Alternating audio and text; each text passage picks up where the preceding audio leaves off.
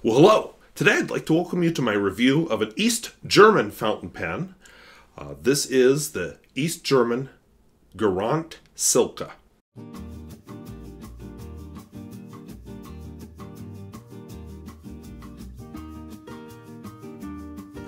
If videos like this interest you, where I talk about fountain pens both new and old and at all price points, I would invite you to subscribe. And I'd welcome any information you have about this pen because I can't find any. I've, I found some discussions on fountain pen forums and that was it. So I'd love to hear anything you know. So let's take a look at the pen. Now you may remember a few years ago, I, I was very proud of myself. I did a review of a East German uh, Markant. I had a model number that I've forgotten. And of course the pen was uh, it was a metal pen and I, I just was oh look I've got an East German pen and it's so cool and I didn't think much of it. But I have gotten so I've collected a lot more of these East German pens and others from behind the Iron Curtain, such as this one. So, yeah, the novelty is worn off, but uh, not the pen. I kept hoping I'd find more information about it. I never did. Uh, so I'm just presenting this review of the pen as is. You can see the branding, Garant, Silka. That's it. No other branding. Uh, ordinary pen clip, nothing here, nothing here. This does unscrew. It's a blind cap and reveals the piston turning knob.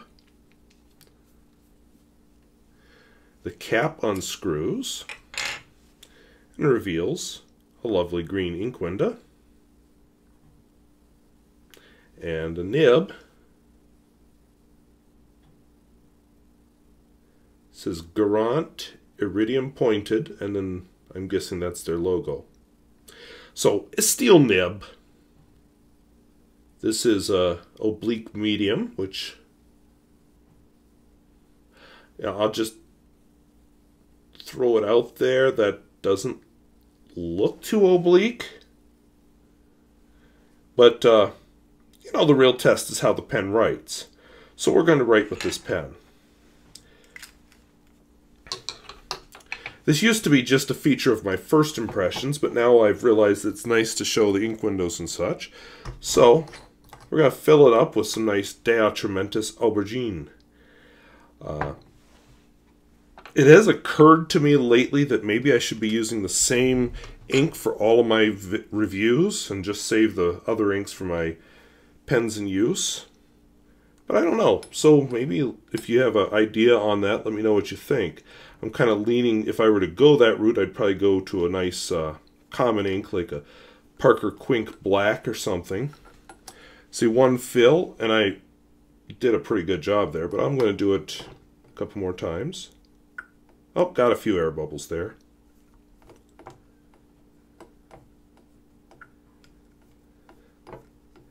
I enjoy the rainbow of colors and I enjoy seeing them in other people's reviews, but at the same time, it would make it easier to compare pens if I were to use a consistent ink. You know, not Bay Blue or anything like that, but, you know, an ink that, like I said, Parker Quink Black or Parker Quink Washable Blue were two that occurred to me. Uh, it doesn't have to be Parker. Uh, just to get a more uh, consistent experience. So I'm looking at the ink windows. It's harder to show because of the lighting. But yeah, I got a good full fill on that. So one thing I do not know is the age of the pen. At a guess, I would say 50s or 60s. Uh, but styles behind the Iron Curtain tended to be, what's a good word, different from styles on the western side of the Iron Curtain. So it's hard to say. Uh, is it a flex nib? No, but it's got a little bounce. And uh, I just happened to notice, I don't know if the camera is going to pick it up. One of the things I found with some of these lower quality pens, not saying it's a bad pen, just, you know, but sometimes you find the gold plating wearing off and it's wearing off on this one. Sometimes it'll even come off if you use an ultrasonic cleaner. Something to be aware of. So I'm turning it like it's an oblique. Um, we'll do my hashtag and then my little oblique test. I don't know that I got much out of that. If I do the oblique test with it like this, that's finer. I don't know. I, it may be an oblique, just not a very obliquey oblique. If that's a word.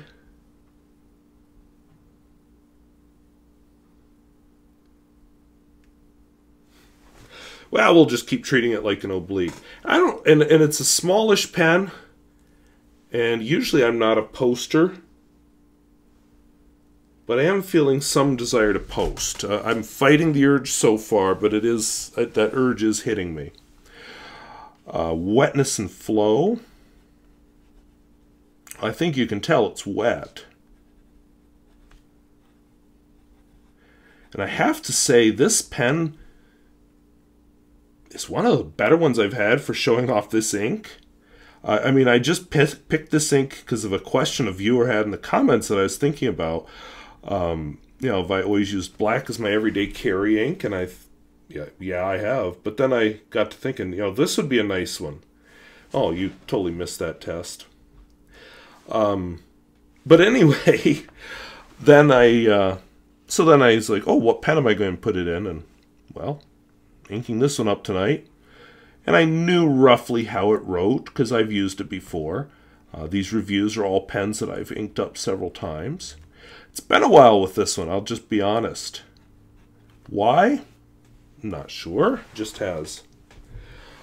Uh, the smear test, and then I always like to do a reverse writing. Uh, I've found reverse. I've found my uh, oblique nibs tend to not be terribly good at this. Once in a while you get a surprise. Ah, yeah, that's scratchy as heck. I gotta pay attention to the screen. So now, let's do a longer form writing sample. Um, I had a request a while back to do some Carl Sagan quotes. I just ran into this one today, and it seemed to fit some stuff I was reading just recently about uh, evolution deniers, and let's go with it.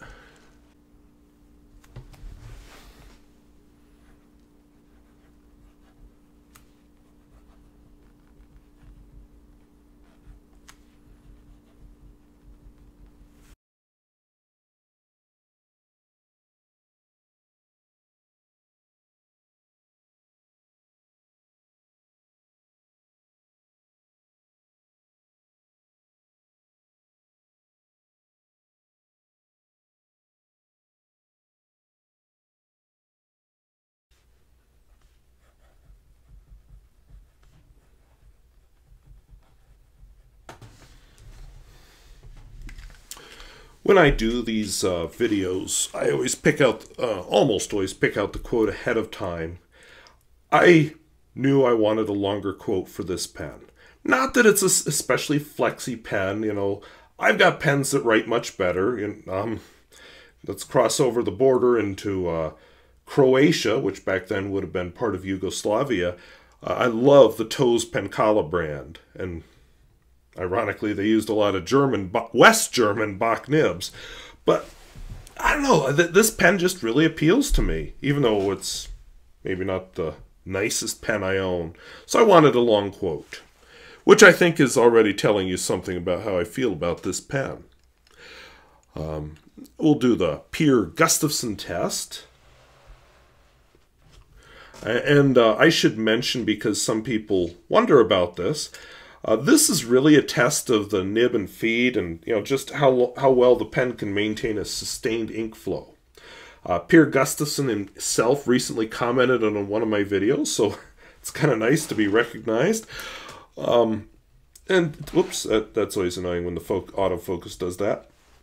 And, and he remarked, uh, he explained what the point of the test is and demonstrated it. He's better at the calligraphy thing. I'm not a calligrapher. I'm going to try and do some, I, you know, I usually just do scribbles, but I'm going to try to do something sort of calligraphy-ish, but not a calligrapher, so it's not going to be too pretty.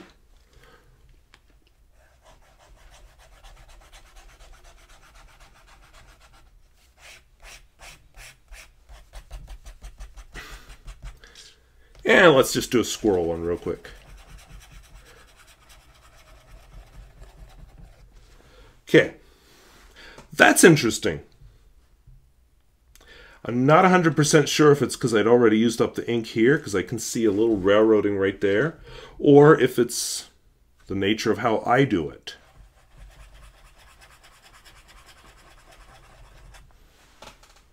So I'm not sure what to make of that. I'll let you draw your own conclusions. I need to perhaps think about how I do this test a little bit more.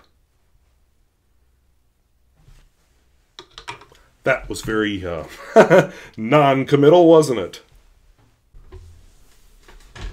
And of course, one other test that I always like to do when I do these videos is the pocket test.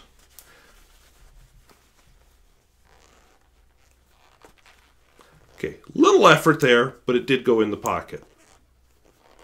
And it slides out really easily. So, yes, it's a pocket pen. So what do I think? I think it's a good pen. Uh, and, and the nice thing with a lot of these lesser known brands, their prices are still relatively low. Now you'll find a few that you're just like, what? but uh, they're still relatively low. They, have been going up. I've been seeing like the TOZ Penkala pens. I, I, did recently find two that were pretty low cost, but, but on the whole, I've been finding they're a lot more expensive. Uh, Senators seem to be going up in price. I'm not sure what drives it. I Hope it's not me. but uh, anyway, uh, this one, well, I don't remember what I paid for. I'll be honest. I don't like to give prices anyway on on videos. Uh, but it's been enough years ago that I bought this one. I do not remember at all what I paid for it. But uh, you know, do, do you have to be willing to shop around. You might have to be willing to clean some ink out. I have uh, two Gehas uh, sitting in the kitchen right now that uh, needed a double dose of cleaning because I thought they were clean and then they were still super inky and it's like the ink was hiding somewhere. So uh, you get that with this hobby, um, but those are the ones you can get lower cost. If you have to do some repair work, like a resacking, then obviously no resacking here. Um, usually you're going to pay for that. Um, or you get the discount because it has not been done. Uh, and if it's got a better known name or a better known nib, of course, you're, you're, you're going to pay more for those. Steel nibs usually are cheaper. Uh, but you get some gems. And I think this is a good pen. This isn't, like I said, this isn't a flex pen by any means. It's just a nice, solid writer that's very satisfying to hold. And uh, as I think I said at the beginning, I can't remember if I mentioned this, but. Uh, I think it shows off this ink about the best of any of the pens I've used this ink in, which uh, wasn't what I expected when I went into filming this video, so uh, I may have found a little match there. I don't know. I'm, I'm quite taken with how this ink is looking on the paper right now. So, yeah, uh, I, I was asked recently about putting numbers to my reviews. I don't like to do that because uh, it's just not objective enough. I feel like I need better criteria, and uh, it's kind of like grading in school. You grade tests and things because you have to, but you know, kid gets an A or a B. What's that really mean? The grades don't mean anything really. Um, uh, beyond a certain level, I mean, kid gets an F or the kid gets an A. Oh, you can kind of see a little, little difference there. But uh, you know, quibbling over, well, how come I got a 92 instead of a 91? Who cares? Um, that, that's why I shy away from doing numbers on these pens. But anyway, hope that was interesting. Hope was useful.